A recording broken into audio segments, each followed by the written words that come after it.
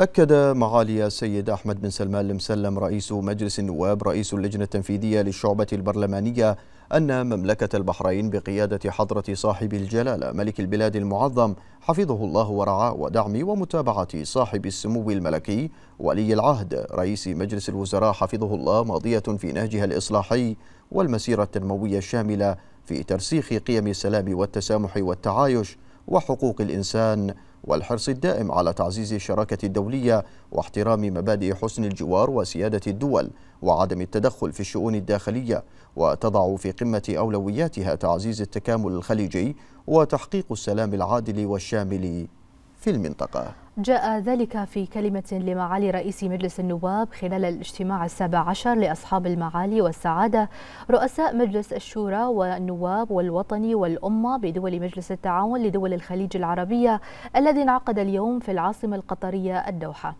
وأضاف رئيس مجلس النواب في كلمته أن منهجية التعاون الخليجي تعد خيارا استراتيجيا وركيزة أساسية لمستقبل دول الخليج وشعوبها مؤكدا دعم مملكة البحرين للمساعي الهادفة إلى تطوير منظومة العمل والتعاون البرلماني الخليجي بما يواكب الرؤى المستقبلية ودعم مشاركة المرأة والشباب للمساهمة الفاعلة في مسيرة النهضة والبناء مع تطوير كافة التشريعات والقوانين الداعمة لمزيد من التعاون في مختلف مسارات التنمية.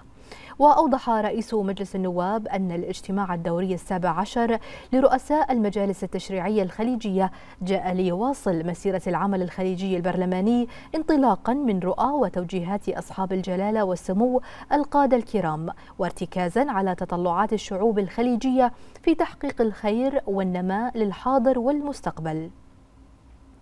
وجدد رئيس مجلس النواب دعوة مملكة البحرين المطالبة بتحرك المجتمع الدولي وبشكل عاجل لوقف الحرب على فلسطين وضرورة فتح ممرات إنسانية عاجلة لإدخال المساعدات إلى قطاع غزة وحماية كافة المدنيين والإفراج عن جميع الأسرى والرهائن والمحتجزين. وأشاد معاليه بتوجيهات الملكية السامية لجلالة الملك المعظم بتقديم مساعدات عاجلة إلى الأشقاء الفلسطينيين في ظل الظروف الإنسانية الصعبة التي يمرون بها.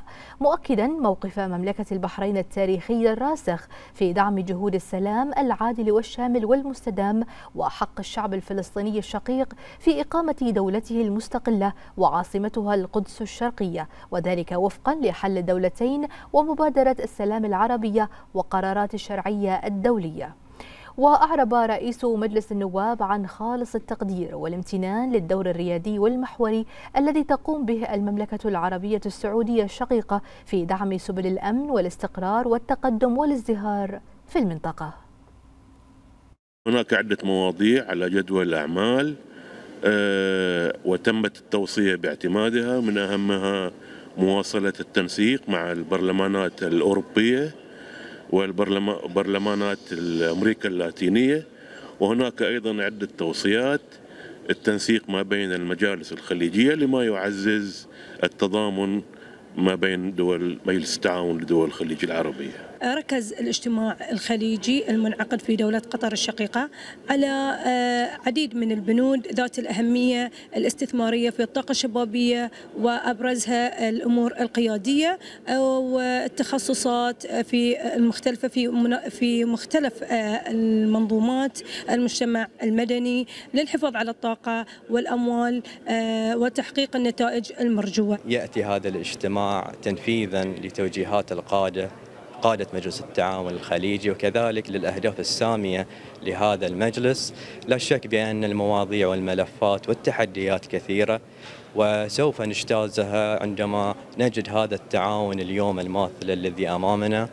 آه، ما يهم آه، ما هو المهم كذلك في آه، التوافق التام الذي تم اليوم في مسألة توحيد الموقف في المحافل الدولية في الاتحاد البرلمان الدولي آي بي يو أو الاتحادات الأوروبية. هذا التعاون سوف يعكس مباشرة للقرارات والتوصيات لهذه الجهات.